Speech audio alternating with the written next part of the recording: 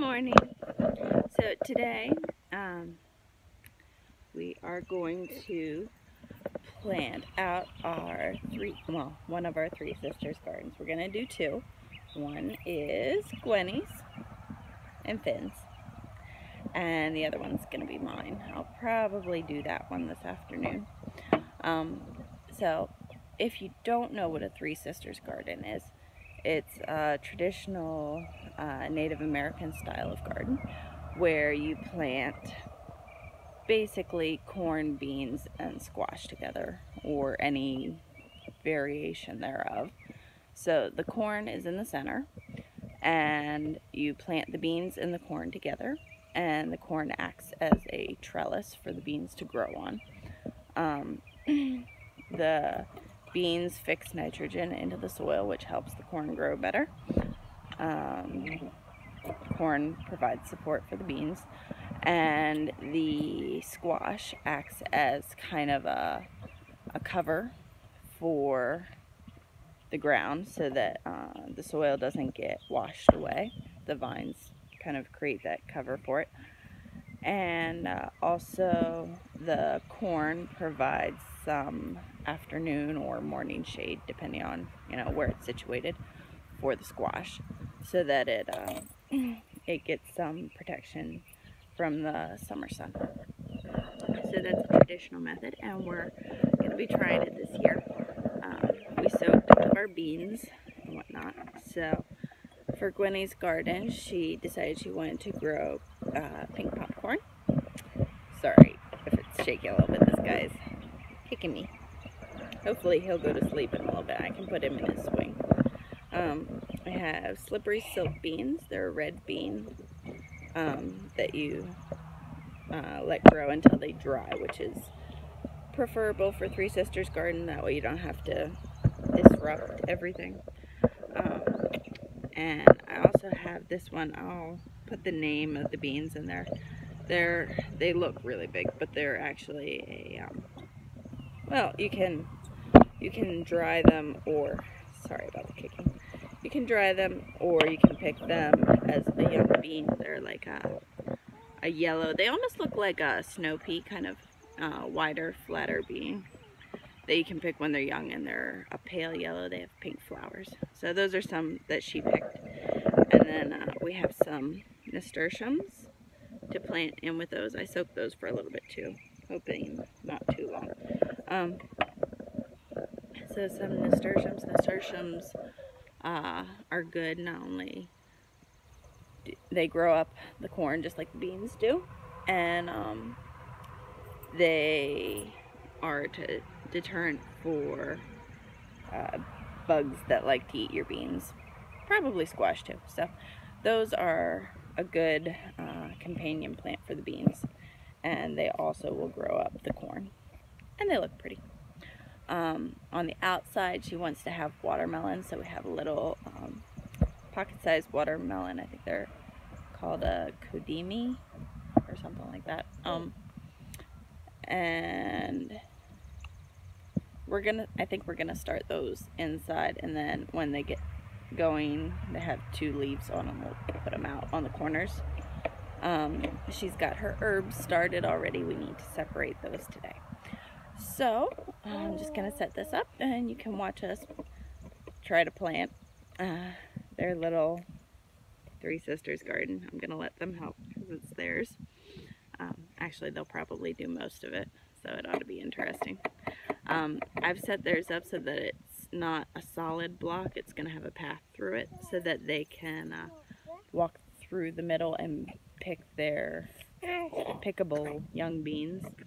And also, I'm sure they'll want to walk through it anyway, so I figure I might as well give them a designated spot to uh, walk through their corn. Uh, so yeah, that's what we're to do this morning. I won't say today because we have a lot of other things to do today. I need to plant my patch, which is to be over there. And then we have lots of things to put in. I need to plant my squash today it's a little bit early, not terribly early. Uh, today is actually our official average last frost date. Um, but April so far has been unseasonably warm and they are predicting that it's supposed to continue that way. So I'm just going for it. I planted out some tomatoes yesterday and my cucumbers. And um, the temperatures are supposed to be in the 60s and 70s for the next week and a half or so. I don't anticipate them getting colder after that. Uh, probably about the same, if not a little bit warmer. So, it's not supposed to drop below 45. And most of the nights are supposed to be in the 50s. So it's a good time to get everything growing. And everything is doing really good and really happy. I've got lots of radishes popping up and potatoes and kale and cucumbers. Like I said, I put the tomatoes out yesterday and I'm going to be planting more beans and more uh, squash today. I got to get my flower patch all tilled up, so hopefully I'll get that done later when the sun comes out a bit more. And yeah, let's get to it.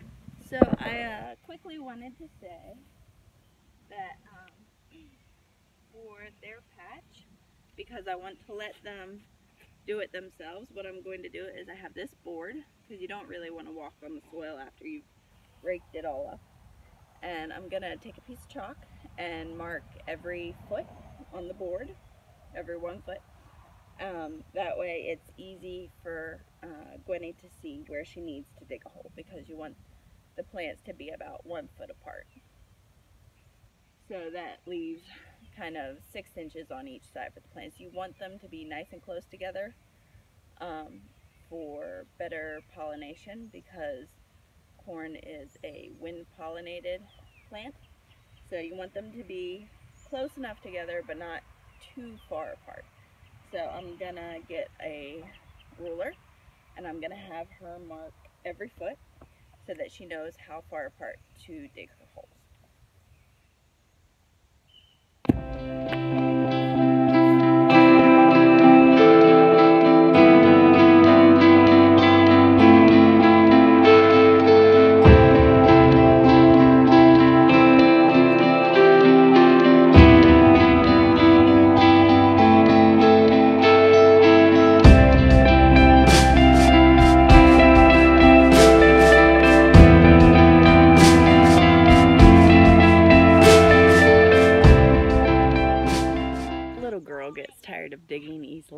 But she still wants to put the beans in. So I'm going to finish digging all the holes so that they get roughly evenly spaced. And uh, then I'll let the kids put the seeds in the holes and cover it back up.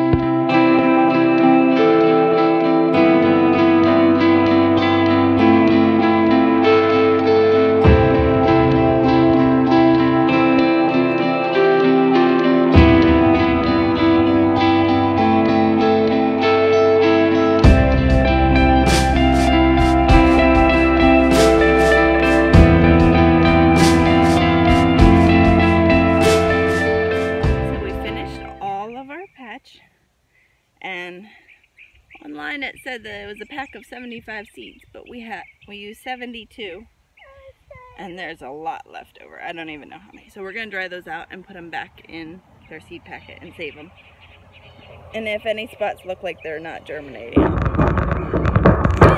shaking it. Sorry. Anyway so that's all done. And it rained last night so we don't really need to water it I don't think and uh, yeah, now we got some other stuff to do.